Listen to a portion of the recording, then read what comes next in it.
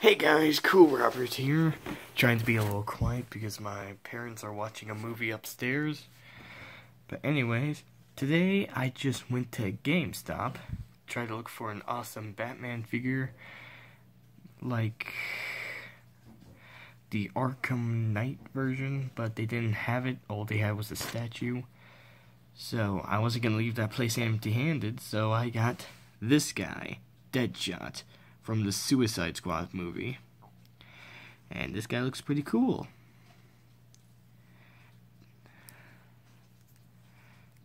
So I'll definitely be using this guy in one of my Batman videos. Right now I'm going to put him in my box with some of my Spider-Man villains.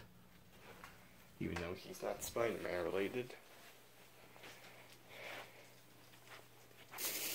Anyways, he also comes with this head, which looks just like Samuel Jackson.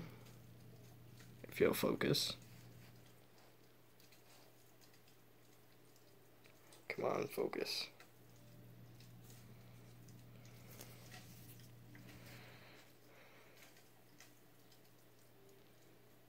I think this head sculpt looks exactly like Samuel Jackson.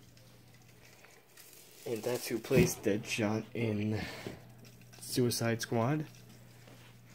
So anyways, I'll see you guys in the next video. Oh,